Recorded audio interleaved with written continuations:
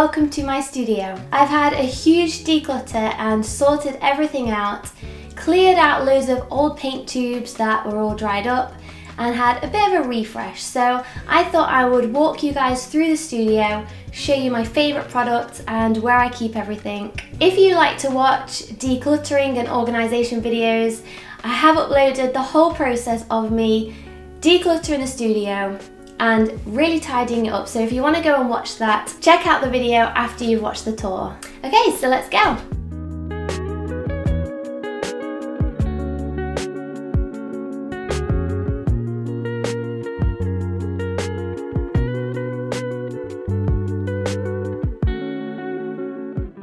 So this is a part of the studio that most of you guys see in my videos. I get a lot of questions about my easel this easel is by Winsor & Newton and it's the Welland easel. So I'll pop links to everything that I mention in the description box as long as I can find it online. This has been a great easel. I didn't start with this easel, I kind of worked my way up. So I started with quite a flimsy, cheaper one and gradually upgraded my easels. So don't worry if you're on the floor at the moment, you have to start somewhere. Also, this gets a lot of mentions. This is my art cart. And as many of you know, as you will recognise it, it's from Ikea. I'll just show you guys briefly what's in this art cart so that you can get a closer look. So mostly this art cart houses a lot of my paints. Um, here we have oil paints and these are mostly the larger tubes as I have quite a few smaller tubes over there on my desk.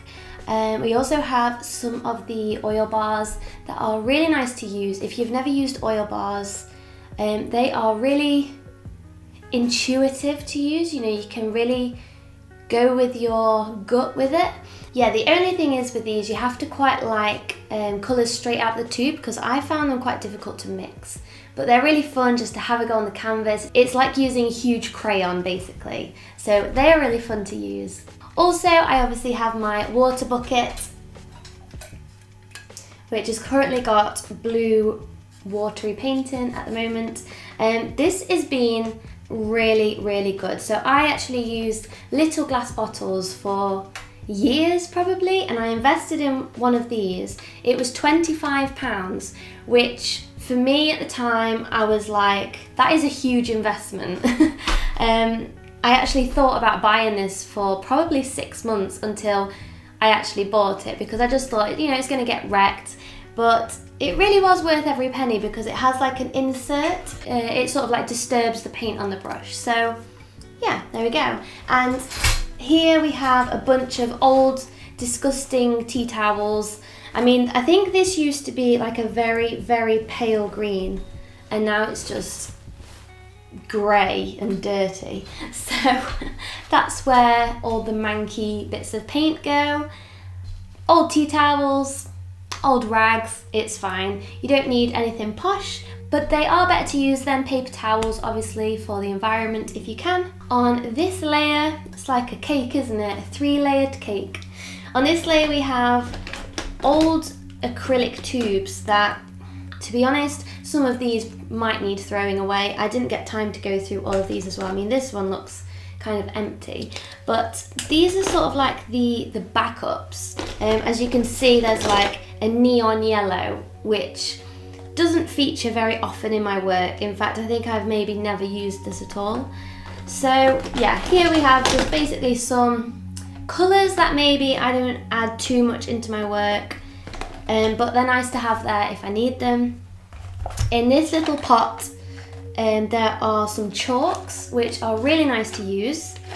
In fact, this is my favourite colour chalk. It's like a lovely lime green. But these were in a like a bargain bin for, I think they were 20p for a whole bag of them. 20p is really cheap. If, if you're not familiar with UK money, it's a fifth of a British pound. So you can see that, you know, I couldn't, I couldn't say no to that. And they're, they're fun just to have like a little experiment with. And along the back, we just again have some maybe colours that I don't use as much, but are really nice to have there. And also I have bigger tubes here, like bigger bottles of the smaller paints that I have on my desk. Moving on to the final layer. First of all, I have a big tub of gloves. Yeah, these are nitrile gloves, which are the ones you can use with oil paint. There are different types of plastic that you can use with different paints. I know that some plastic you, you can't really use with oil paints because it will still contaminate. So nitrile are brilliant with oil paints and especially because I'm expecting I have to be really really careful with getting any any sort of substance on my skin. So these are really handy. I do try and um, reuse them as well so I actually don't go through much of these at all. I'm not an extremely messy painter anyway but it's just handy to have to make sure and along the bottom again I have some huge tubes of paint in case I want to experiment these brands are a little bit cheaper. So if I'm not working on like a final piece, but I just want to have a bit of colour to play with, I will grab these. This actually is a brand new linseed oil I bought for oil paints and I could never get the top off. So that's just hanging around in the art cart waiting until one day I can use it. That is the art card. Ta-da! So moving on to my desk area, this is obviously what gets featured a lot in my videos on my Instagram and things like that. This glass palette is by Paragona. I'll try to link to it in the description box if I can. It's really been great for all types of paint, but especially oil paint. Um, these are just a mixture of my shorter brushes, and this is where I keep all my longer brushes, which again, I use mostly for oil paint, but also acrylic. I would say that my favourite range of brush is the Winsor & Newton, the Winton, uh, flat all round, and these are both size 12. I love myself a beastie brush um, to cover loads of surface area. sorry plant.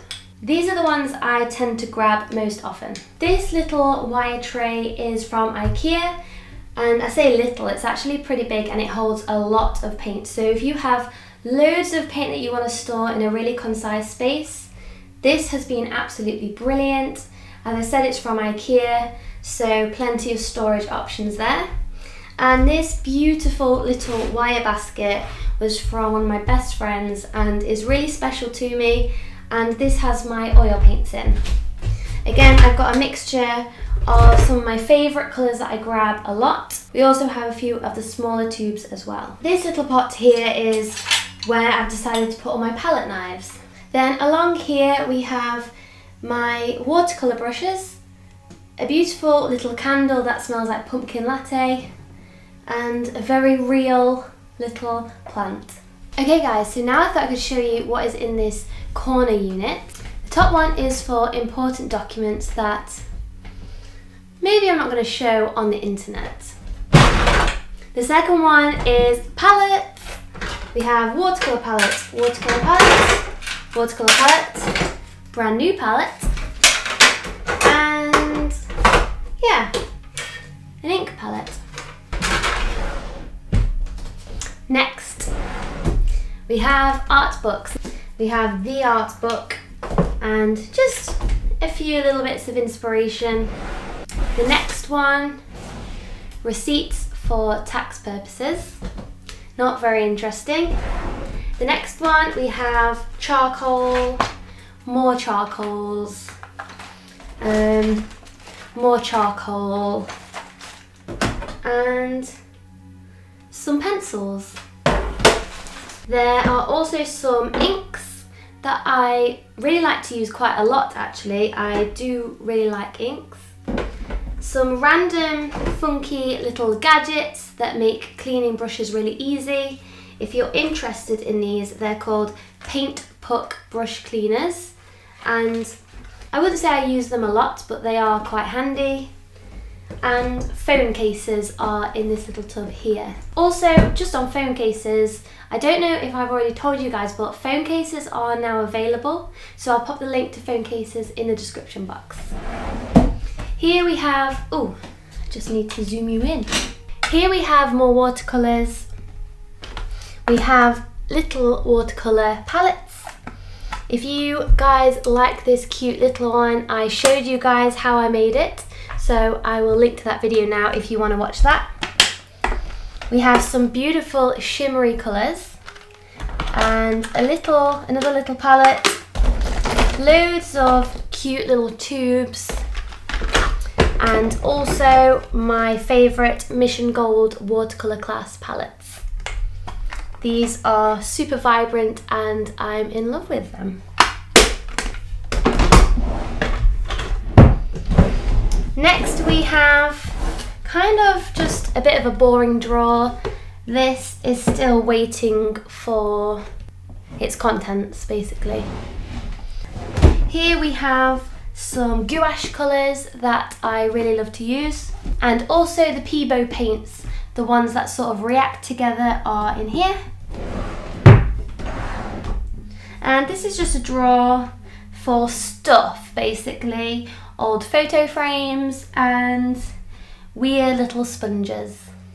Okay, I'm gonna get up from the floor. Ugh. Please tell me that was recording. Also down here I have my folder. This is where I keep basically loads of sketches. There is so much in this folder. There are like little, little sketches that you guys probably see on my Instagram or big paintings like this one that was a tutorial. I'll link to that tutorial now if you guys want to go see how to paint this.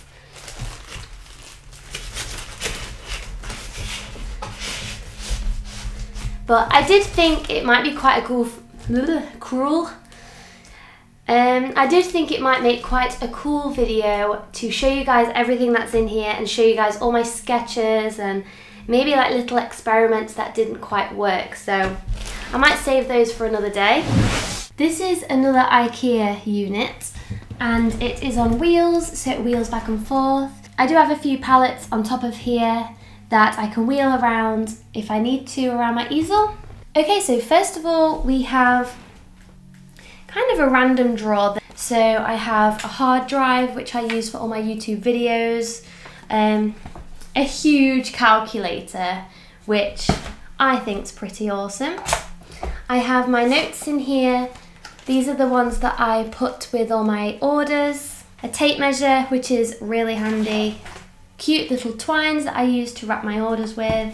All the bits of tools that you need to hang the backs onto paintings. Then some lovely cards that I keep as inspiration from my followers and subscribers so that when I'm, I'm feeling a little bit down I can just grab one out of my top drawer and it makes me feel better. Second drawer down, we have scissors and a protractor, which I don't think I've ever used ever. Um, highlighters, I've got all like the cute colours because I am a bit of a stationery addict. Um, Sharpie pens, whiteboard pens, some more paint brushes, and some cool stickers. I really love stickers, so when I see cool stickers, I just have to buy them. And I never use them, not very often, but I still like to have them. Next drawer down, we have tissue paper and plastic wallets to put in artwork for when I'm sending it away. Next drawer is the tape. We have the beast of a tape gun, which is really helpful when you're packaging large paintings. Um, a few different tapes and these are my stickers that I use for wrapping my orders. And we have all different designs. Next, this is my watercolour paper drawer. So we've got different watercolour paper options here and then these are my watercolour sketchbooks. And last but not least, is my normal paper sketchbooks. So this is just um, not necessarily for watercolour, these are for sketching, or we have some pastel paper, acrylic paper, oil paper. This is where I keep all of the paper. Okay, so that is my unit. So this side of the studio is one that I very rarely show on YouTube. It's usually the place where I dump everything and it doesn't look very pretty. But now I've had a clear out and an organisation, I'll happily show you my very tidy, well it's still not that tidy to be fair, but my unit. I don't know if, I, oh you guys can't see it there. Just spin you around. Um, this is a Charmaine Olivia print. She's my favourite artist. She is just beautiful in every way possible. Um, and her artwork is incredible. I'm sure you guys are already aware of it if you guys are into art. But if not, check her out. Her Instagram is Charmaine Olivia. She's pretty epic and she really inspires me. And she's the reason why I started doing art. So it's only right that she should take prime place as you walk into the studio. Top layer, we've got some old paintings. These are old paintings that I've had in videos. We've got some tape, fragile tape and all that sort of stuff. I use like quite a few different cameras depending on what it is that I'm recording.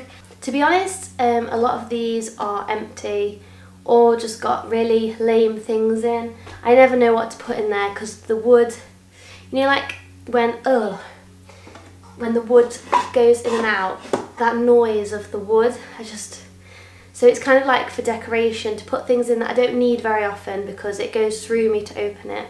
So these wooden tubs are also from Ikea. this video is not sponsored by Ikea. Wow, I wish it was. Ikea, if you want to do a collab, I'm here. Uh, this is all sorts of painting things. We've got fixative, which is what you spray on charcoal drawings.